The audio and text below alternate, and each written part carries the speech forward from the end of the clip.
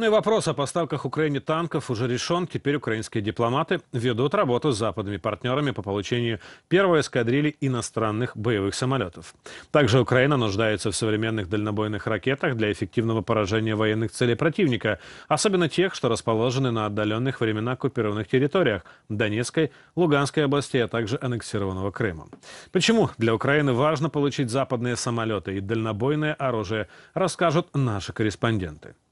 Офис президента и Кабинет министров Украины консолидированно работают над тем, чтобы Украина как можно скорее получила первую эскадрилью западных боевых самолетов. Об этом заявил министр иностранных дел Украины Дмитрий Кулеба. Украина уже собрала некий танковый зоопарк. Есть решение о предоставлении «Леопард», «Челленджер», «Абрамс» и мы работаем над получением французских танков «Леклерк».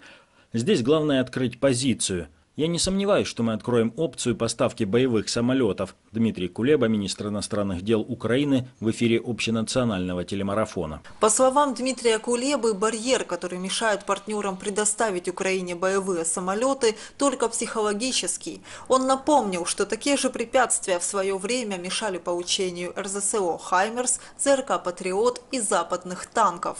Не принципиально, будет ли это американский F-16, шведский Гриппен, французский Мираж или Рафаль, или Еврофайтер. Важно открыть позицию, снять табу и получить первую эскадрилью самолетов. Затем уже будем определяться, учитывая доступность на рынке и обслуживание, на какую модель делать основную ставку. Дмитрий Кулеба, министр иностранных дел Украины, в эфире общенационального телемарафона. Сейчас активнее всего переговоры ведутся о передаче истребителей F-16. Это истребители четвертого поколения. Их много, они находятся на вооружении почти 30 стран.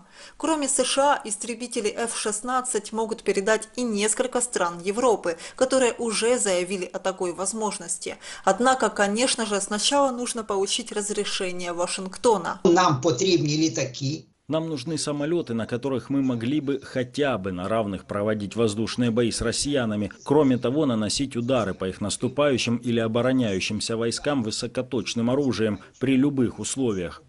Авиация нужна не только для защиты от российских самолетов. Истребители и штурмовики смогут сбивать ракеты и дроны, истощающие запасы украинской ПВО. Наши боевые летаки застарили. Наши боевые самолеты устарели. Они четвертого поколения. Все российские дважды модернизированы. Американские истребители имеют более дальнобойные ракеты, чем российские. И их радары видят лучше и надежнее держат цель. Если МиГ-29 несет две ракеты средней дальности, то F-16 может нести 6 таких ракет, плюс еще несколько ракет малой дальности. Также для Украины крайне необходимо получить ракеты с дальностью поражения от 150 километров, ведь тогда вооруженные силы Украины смогут доставать до военных объектов, расположенных на значительном расстоянии в тылу противника. Потрібні такі, які поражали противника Нужны такие, которые поражали бы противника на дальности сейчас уже более 100 километров. Почему? Потому что снаряды реактивные, которые применяют комплексы «Хаймарс», бьют до 82 километров. Противник это знает. Он располагает свои пункты управления, склады на дальности 100 километров плюс. В связи с этим нам нужны возможности артиллерийские, любые, которые обеспечивали бы уничтожение этих наземных целей. На совместном заседании правительства Украины и Европейской комиссии министр обороны Украины Алексей Резников заявил, что если бы у украинской армии была возможность наносить удары на расстояние 300 километров, то российская армия не смогла бы обеспечивать свою оборону.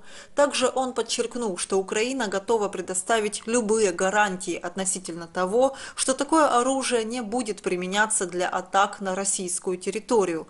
Вопросы о дальнобойных ракетах и истребителях планируют поднять также и на Мюнхенской конференции по безопасности, которая произойдет с 17 по 19 февраля.